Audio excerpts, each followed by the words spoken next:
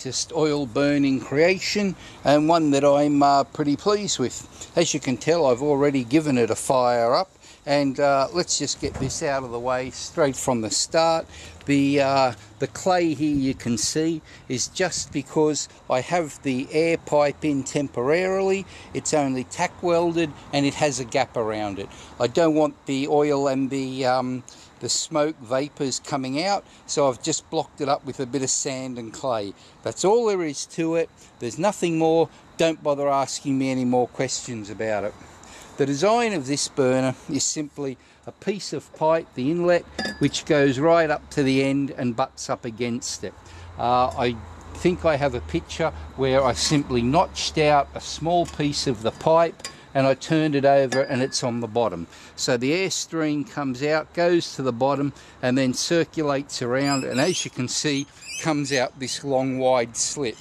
The idea of that was more like something for a barbecue application where you don't want a concentrated uh, par, a jet of heat, you want it spread out a bit. Now, the concept could probably go as long as you want it. You just make the slit a little bit narrower, and as long as you've got a bit of extra pressure from the blower, it should work just fine. Now, one of the good parts about this is because you have this open slit. It's very easy just to fill it with some startup fuel. I'm going to use a bit of uh, veg oil and mix it with diesel. The uh, amount's not critical just as long as you've got enough to uh, start it off and get the heat in there.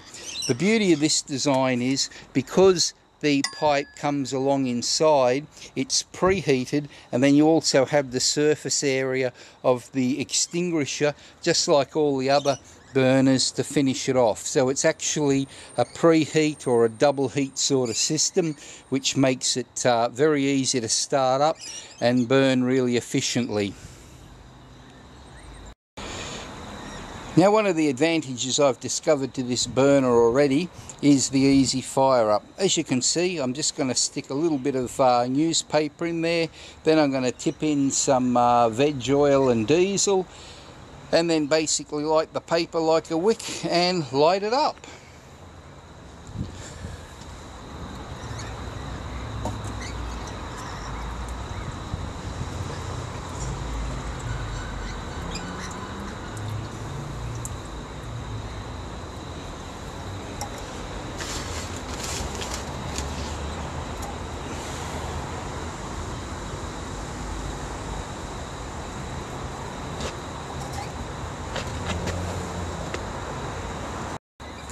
The rest of the setup with this is uh, pretty much as you've seen before.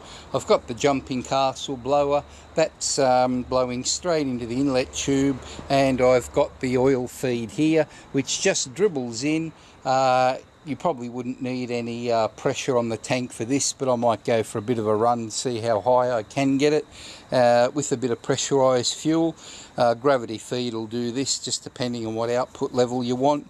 And obviously the oil is blown along the pipe and into the burner. All pretty straightforward and simple uh, nothing new there really.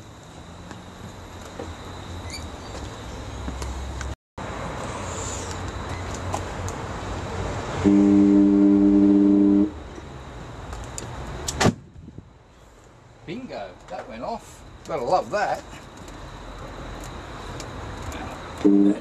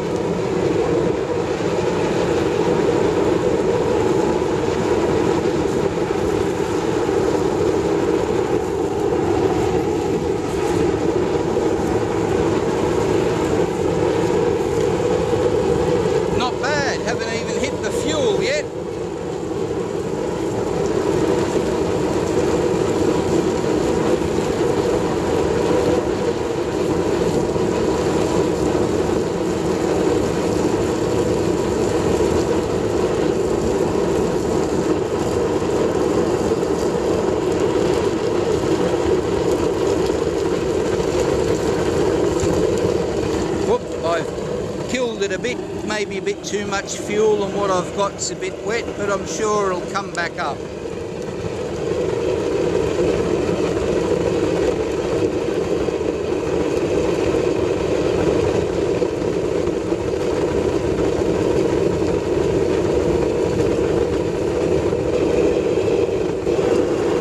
There we go.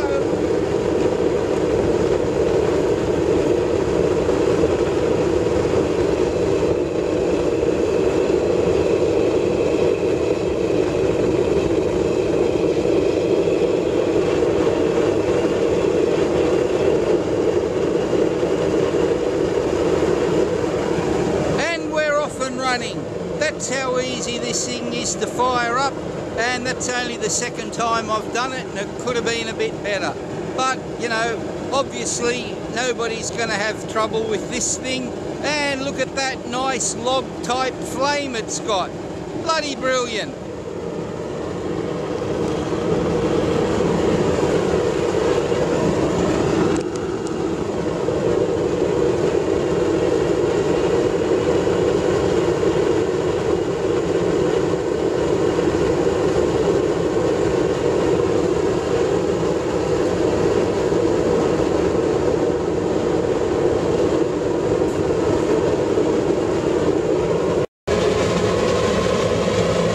Now, as you can probably see, I've still got the input of the uh, jumping castle blower restricted with a bit of old uh, towel.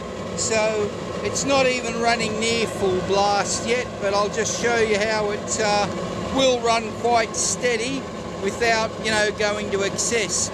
I can see that it is smoking a bit through that little hole in the side I forgot to weld up, but uh, this is still basically a prototype, so I'm not too worried about it just at the moment.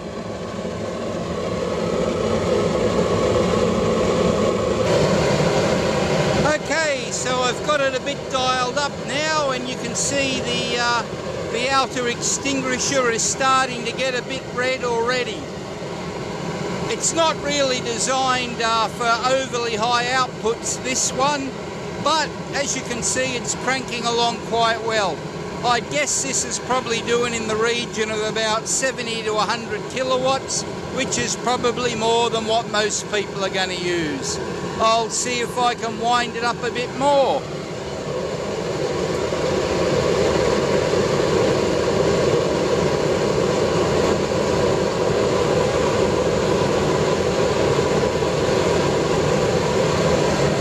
Yep, that did it. Beautiful. It isn't quietest burner I've ever made, but you know, that probably could be rectified with a bit bigger output as well. But it sure works nice and it's easy to light up.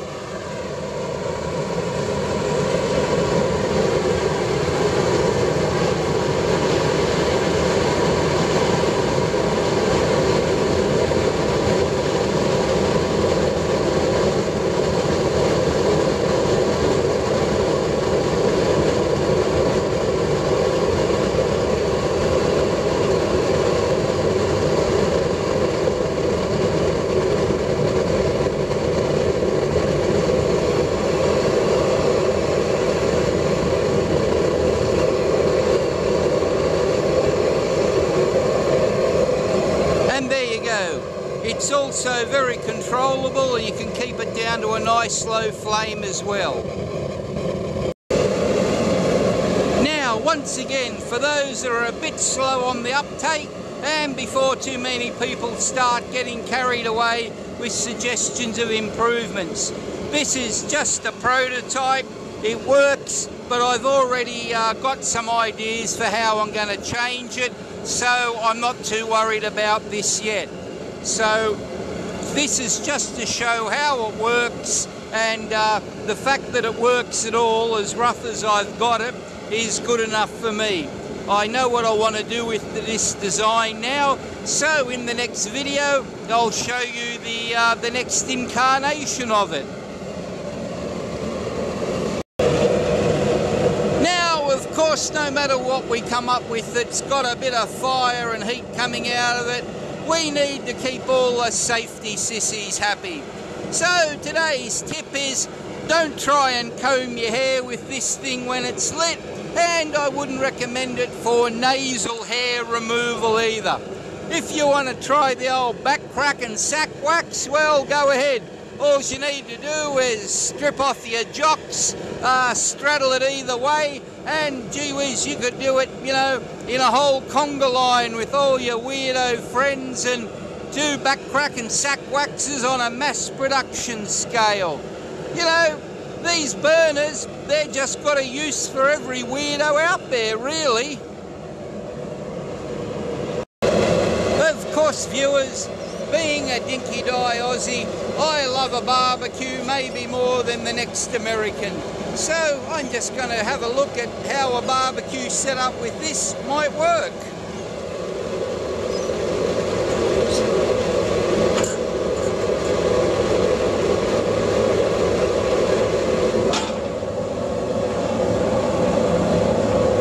Voila!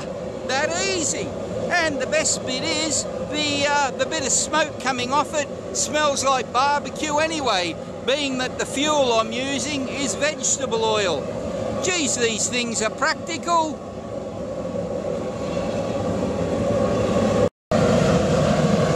Now look at that.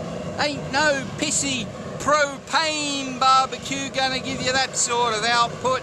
That's gonna cook your steak and your chops and whatever else you got faster than uh, any gas barbecue ever could. Your bottle would freeze up before it even got near the output of one of these little beauties. And the best part is, with a 12 volt blower, you could actually take this thing on a picnic quite easily. And wouldn't you be the envy of everybody in the picnic ground if you were? Look at that, it's got so hot, it's cracked another barbecue plate. And of course, just to be fair, while I've got something for the safety sissies, we couldn't forget the environmental Nazis. So here's a bit of smoke. Don't say I don't look after you guys. Something for everyone to complain about.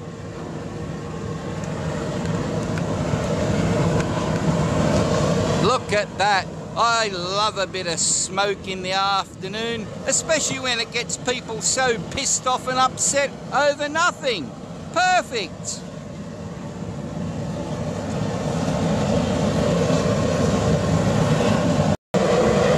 Now, one other design parameter that I did have for this particular burner was to be multi-positional. And as you can see, tilted off to the side, it works just fine as well.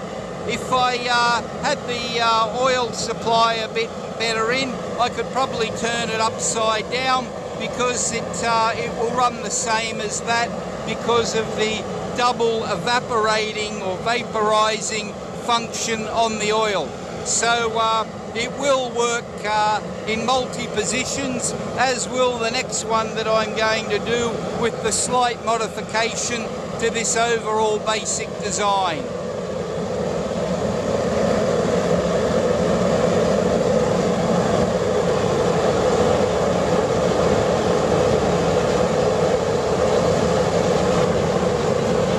Oil burning power.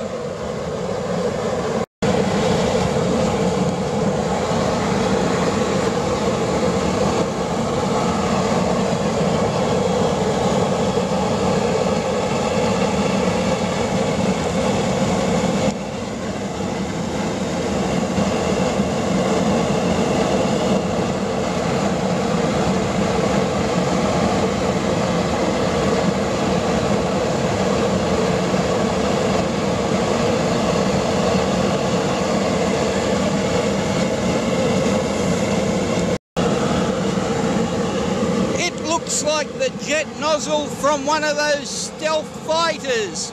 Nice and flat. Wouldn't be a bad modification for somebody to do. Make the thing look extra cool.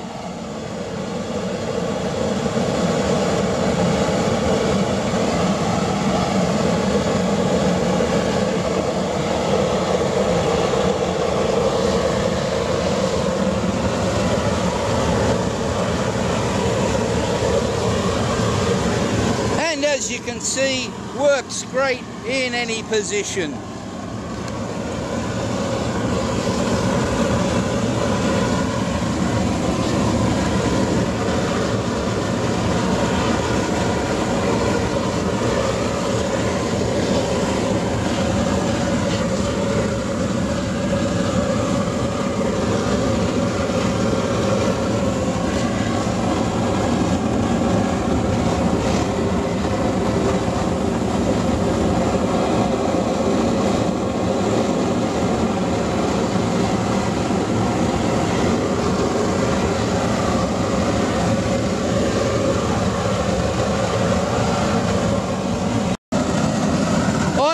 if that hot plate's actually hot.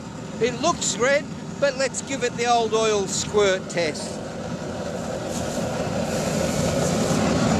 Yeah, that doesn't look too bad really.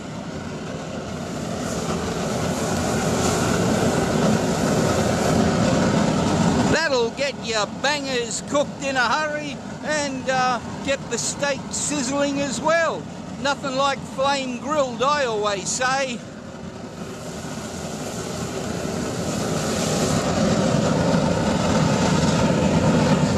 That's like two-stage cooking. You could do the top and the bottom and never have to turn your beast over.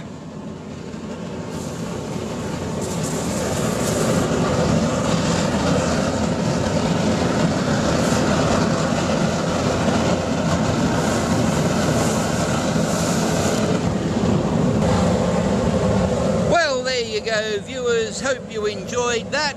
It's uh, quite a barbecue and a burner. And once again, I'll uh, have another video shortly with uh, the uh, improved version of this, which will be even simpler and easier to build. Please don't forget to have a look at my other videos. There's uh, plenty of this sort of nonsense uh, on my channel. I think I'm up to 78 videos now.